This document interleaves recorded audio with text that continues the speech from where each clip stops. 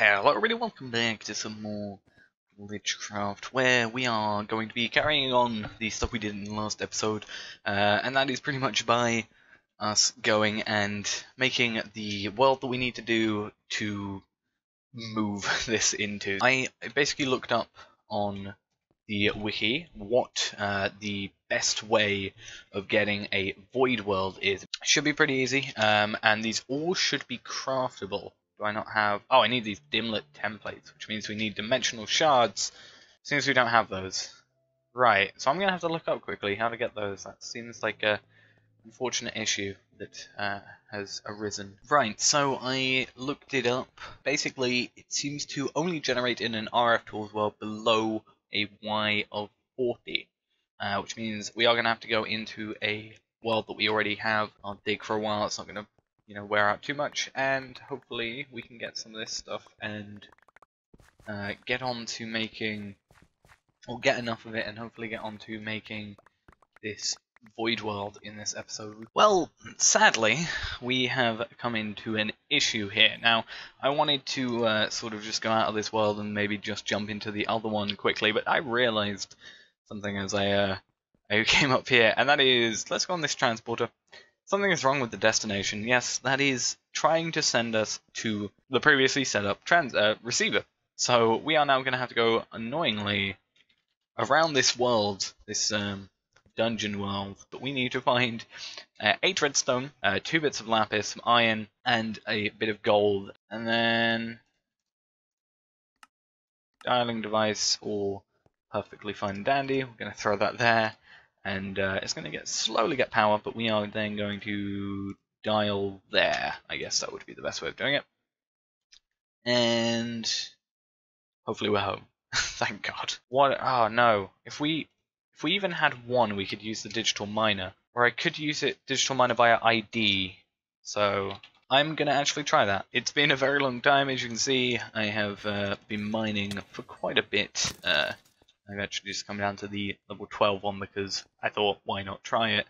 And I finally, after a very long time, have got one dimensional shard ore, which is actually all I need. The reason it's all I need is because this now allows me to put that into my uh, digital miner, and it will just search around the place for the uh, for all the you know dimensional shard ore.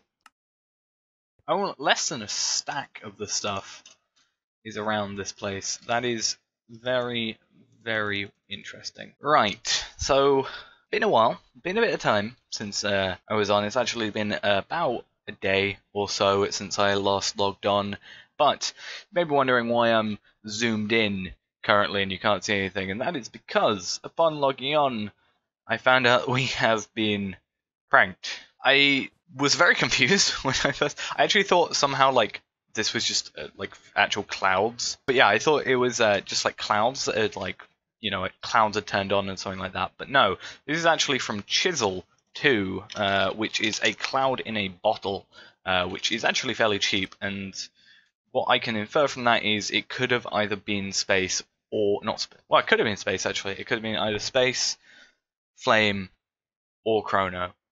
I think less likely to be space because he's been having issues even getting to my area. Uh, he does apparently uh, crash whenever he gets close to my area, which is a bit of a worry. But yeah, this um, is a bit of an interesting thing. So we are going to have to get rid of these. I don't know if we can just pick them up like that, and maybe we can use the digital miner uh, for this. That might be a good idea. If I could get into my terminal, which I can't, because I do want to come down here seems that potentially it says station cannot be found, so I don't know. I can't click on any of my stuff because apparently that's weird. Okay, I can get rid of it though. This should hopefully work. I do that, and then I can just re-link my terminal.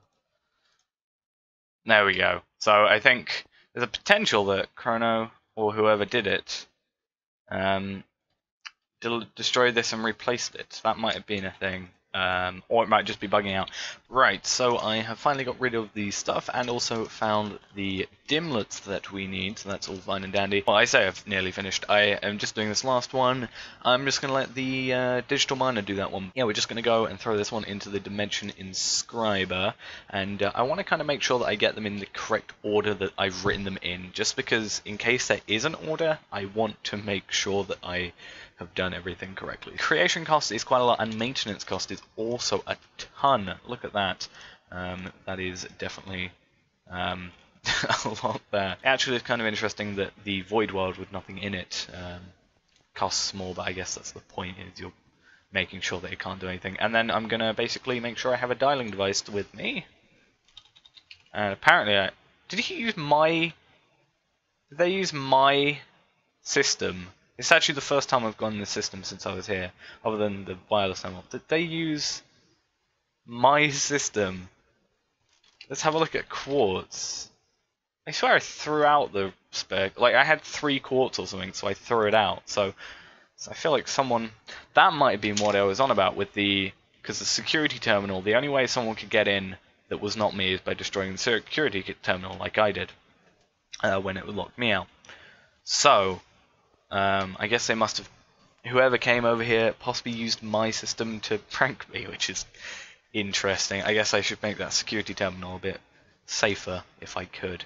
But yeah, uh, we need to make a dialing device. Let's transmit ID5 dial there, and then we're going to come over to here.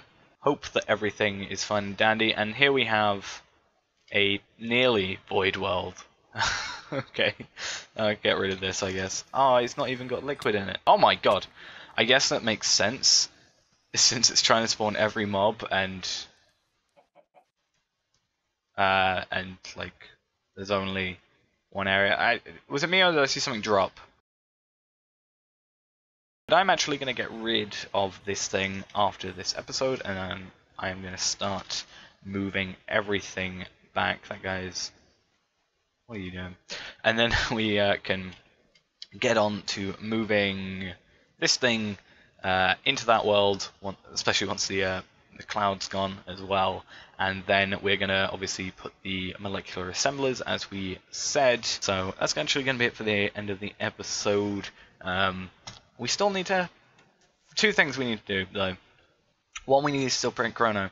And second, uh, we need to find out who did this and then prank them back. Uh, I don't actually think it was Chronno because um, a couple of reasons. I think he would use his own stuff uh, at first, and also, especially because I know he's got quartz being made, and also, I think he does, might be lava berries, um, and also, I think he would leave a sign like he did when he covered us in, um, you know, inverted skyblocks, he left a little sign here.